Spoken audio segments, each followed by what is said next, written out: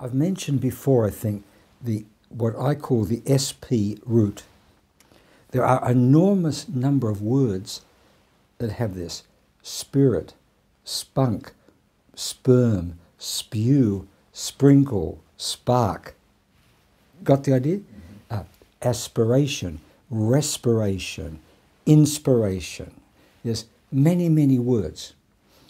Nearly all of them have, have this sense in common that take spark. You do something active here and it travels over there where luckily it will then catch fire and do something. So, in a way, all healing is this the spark from here to there, where you hope it will, it will actuate the life energy in the person you're, you're trying to help. You see? And another word is spontaneous. Right? Now, you, uh, if you read about most of the artists, they were, they were anything but spontaneous.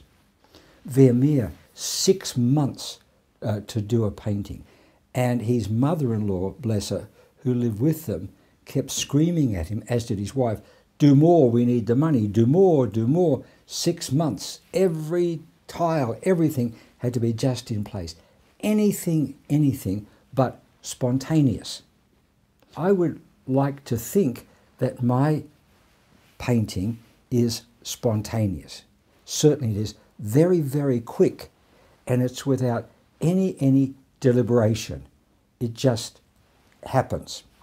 Uh, yes, there are certain patterns I can see because I have certain brain patterns. They're also spontaneous in the sense that I hope that I will create a spark that'll go from what I'm doing over there to the viewer to produce, hopefully, some life energy, quote, healing change in him, some metamorphosis. I did this about an hour or so ago.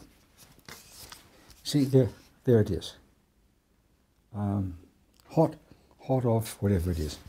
And I have, I have a, a sort of pattern very often with a, with a, a, a one that's done lengthwise, you tend to go up. if it's this way, you tend to go more across. Yeah, and, and this I tend to, because I'm right-handed, I tend to do uh, a movement to the right very often.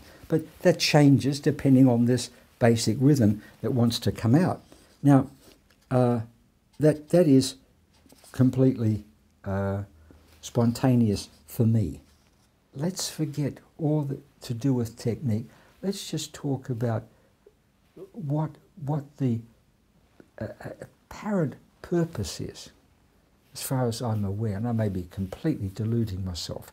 It's, but I, I do it as a doctor. I don't do it as a painter or an artist or a this or a that.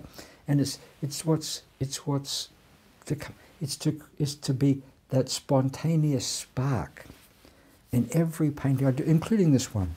Yeah, it's it's all with the idea it's going to go somewhere. It's going to have an effect uh, somewhere. Sometimes I'm thinking of one person. Sometimes I'm just well, not now it's not thinking. It's it's you create that thing. I'm not when I'm painting. I'm not saying this is for Bessie.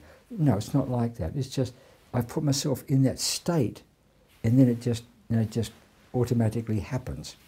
But but it's it's always the, the but the intention in the first place, as it were, the hope, the esperanza, is that it will be a spark to actuate the dormant or somewhat dormant life energy in the, in the viewer.